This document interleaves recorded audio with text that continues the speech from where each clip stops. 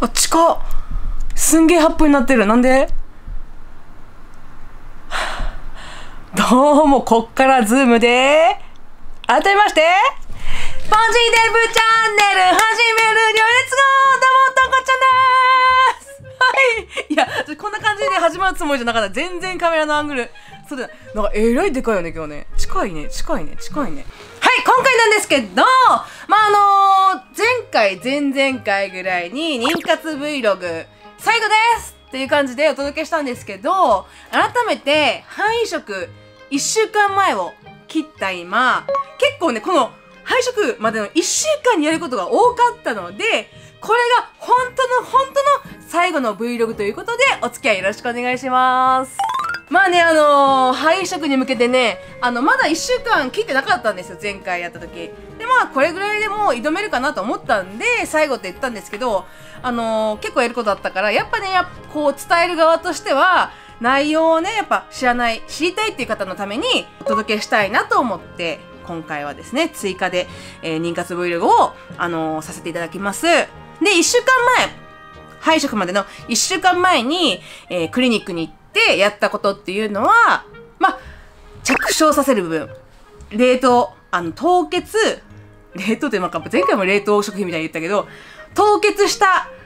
胎盤法、まあ、受精卵ですよね。これを戻す場所が子宮の内膜っていう部分なんですね。内膜の部分に戻して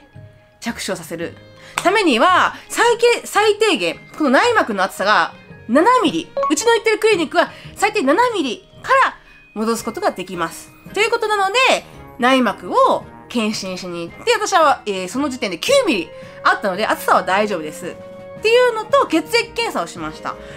まあ、ホルモンの数値を見たんですけど私はねホルモン数値はちょっと低くて、えー、本当はその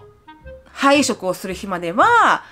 あの、前回ね、ほら、エストナーラ。このシールを3枚、まあ、お腹に2枚、後ろに1枚とか、後ろに2枚、前に1枚とか貼り替えながら、2回、えー、2日に1回貼り替えるっていうのを、配食の当日までやるつもりだったんですけど、私は数値が低かったので、4枚になりました。1枚増えましたね。まあ、4枚を2日に1回変えながら貼るという風になりまして、で、1週間前に増えたお薬、これをご紹介したいと思います。まあ、2つのお薬を1週間前に増やされたわけなんですけど、まず1つは、えー、プレドニンっていう飲み薬ですね。プレドニン。こういうやつです。プレドニン。これですね。結構ちっちゃい粒になってます。結構飲みやすいし、まあ、朝。これ朝昼なんだ。私夜だと思ってたわ。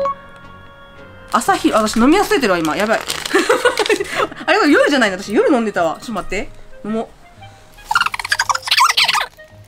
あ、説明受けてた。まあ、夜でもいいですよっていうのは言ってた。食後に、えー、1日2回飲むんですけど、まあ、なんでこの朝昼になってるか。でも夜でもいいですよって言われたんですけど、なんで昼って書かれてるかっていうと、これ飲むと、ちょっと眠りにくくなるというか、寝つきが悪くなるらしい私はこれ飲んでも全然爆睡してたんで、大丈夫。肺食した次の日まで、このプレドニンともう一つの薬を服用します。貼り薬のエストラーナ。これだけは肺食して、で、えー、検査結果出るのが2週間後なんですよ。その2週間後までこのエストラーナとルテウムっていう秩序は、えー、服用しなきゃいけないんですね。もう見た目はね、座薬みたいな感じなんですよ。形もね、開けた感じもほら。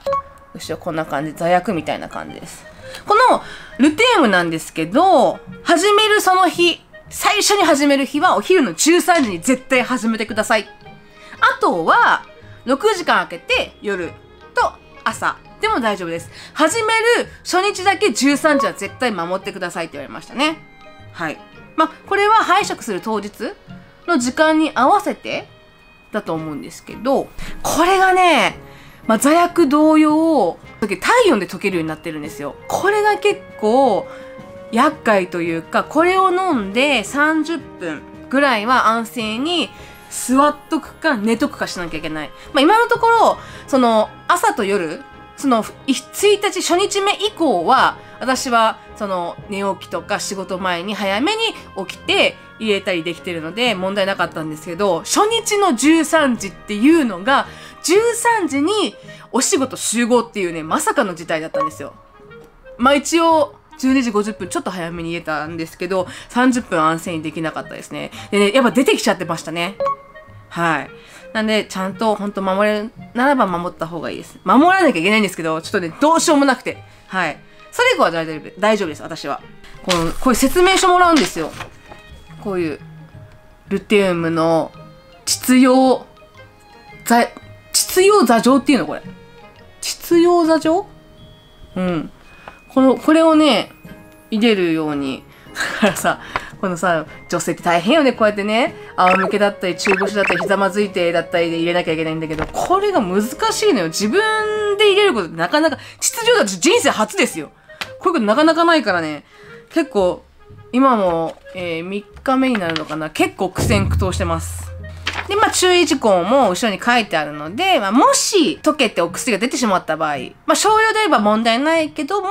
大量の場合は主治医に相談してくださいとか、まあね、普段は冷蔵庫で保存するようになってます、これは。本当に手でずっと持ってると溶けちゃうんで、はい。溶けないように持ってますね。で、まあ、配食当日の説明書っていうのが、こんな感じでね、当日スケジュールやることっていうのが書いてありますね。持ってくるものは、テーム、あの、秩用座薬秩用座状まあいいや。ま、ま、秩序って言ってます、私は。秩序を、あの、入れた袋を、えー、持ってくるのと、下着、ショーツと、まあ、ナプキンとヘアゴム。まあ、私は髪短いからいらないですって言われたんですけど、で、排食するときは、えっと、尿を溜めなきゃいけないので、11時に排尿してから、そこからは溜めておくようにっていうことですね。でも特に移植後の制限はないっていうのも書いてますし、まあ通常の生活をしてください。ただまあ前も言った通りあんまりこう振動を与えない方がいいっていう諸説あり。なんで私はまあ安静にその日は過ごしますね。はい。で、あのー、肺食をする時なんですけど、まあ普通はこの子宮内膜に凍結した肺盤法を戻す。で、これが、まあ、溶け込むじゃないけど、このちゃんとしっかり、この子宮内膜に入り込んだら妊娠。ね、これがね、自然妊娠だったら、まあ、もう本当に中で受精して、で、子宮のこの卵管を通って、で、自力でやるっていうものなんですけど、まあその、我々というか私のように顕微性体外受精して戻す場合には妊娠がよりしやすいようにポンと戻すだけじゃなくてとある方法を使って肺移植を行います。えー、それがですね、アシステッドハッチング。アシステッドハッチング。もうこれね、私いつもね、こう、カンペ見ながらやってるんですけど、アシスタ、アシステッドハッチングっていうのが、AHA 法、アシテとハッチング法と言って、まあ、これをなんで行うか、そもそもこれは何だっていうことなんですけど、まずこの肺は透明体を破るように裁判法が脱出する。これをハッチングって言うんですね。で、まあ、肺がこう、肺って透明体があって、これが破れて子宮内膜に行くわけなんですけど、まあ、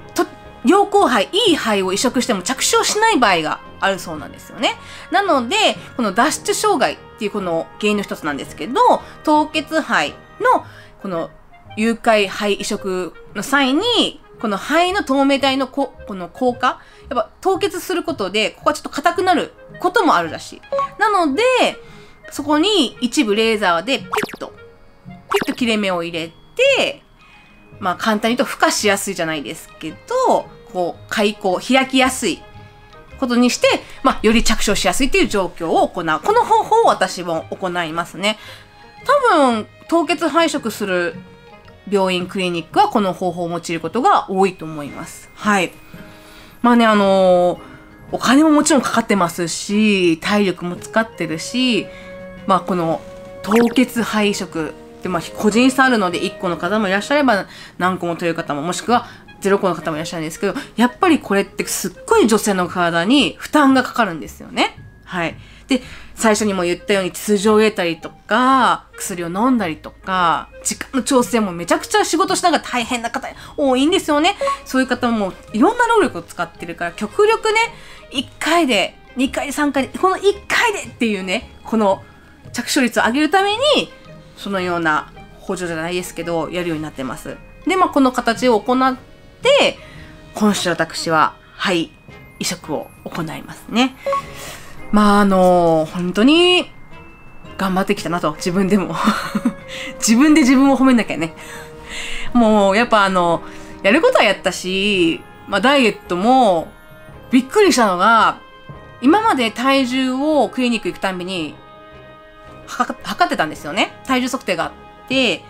で、別にそれ以外特に何か言われることもなくて、だから体重が最初増えてたんですよね。私が調子乗って言うこと聞かないで。で、病気して、胆のね、取ったりとかして、ダイエットしだして、徐々に徐々に落ちてきて、まあ80キロ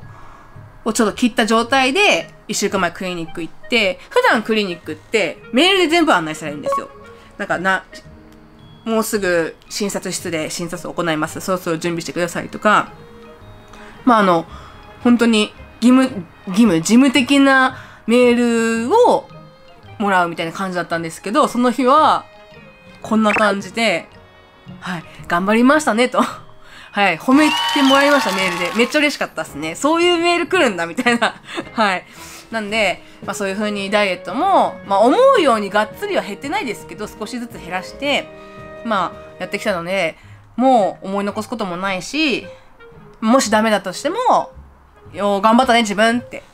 まあちょっと酒飲んで、また次頑張ろうみたいな感じで やろうと思ってます。はい。本当にもう、一週間切って、一週間切ってくると、現実味っていうか、ドキドキがちょっとね、不安に変わってきてはいますね。うん、なんか、これで、もし妊娠できなかった場合は、まあ、ちょっとショックはショックだろうし、病院で知るのか、もしくはフライングして妊娠検査薬で自分で調べるのかっていうね。はい。これもめちゃくちゃ悩みますね。でもまあ、病院で知りたいなと。まあ、病院の日に、妊娠判定日に旦那さんと行けたらなと思いますね。旦那さんと二人なら、結果がもしダメだったとしても受け止められるのかな。多分その日、あの、旦那さん休みの日なんですよね。なんで、まあ、結果の時には夫婦で、今そのコロナの影響で2人で行くっていう、普段はダメなんですけど、まあ、結果だったりとかの、えー、お知らせの時には、まあ、旦那さんも一緒にいいみたいなので、旦那さん連れて行って、結果をね、聞きたいと思いますけど、まあ、結果発表というか、結果を知るにはまだこの、今週移植してからまださらに2週間っていうのがね、あるので、